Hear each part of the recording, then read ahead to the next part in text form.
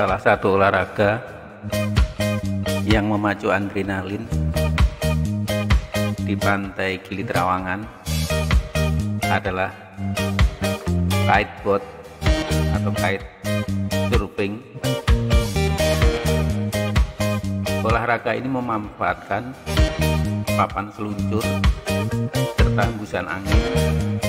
serta gerakan akrobatik peralatan yang diperlukan adalah papan seluncur khusus parasut khusus dan alat pengaman yang dipasang di tubuh peselancar kegiatan menantangnya adalah pada saat berselancar di permukaan air dan di waktu yang bersamaan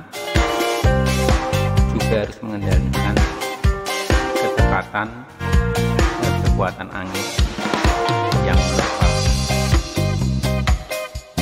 juga memadukan gerakan akrobatik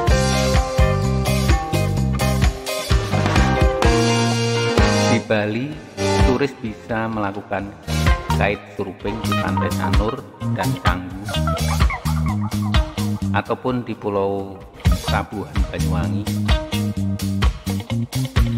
Bisa juga di pantai Ujong Pancu di Aceh Besar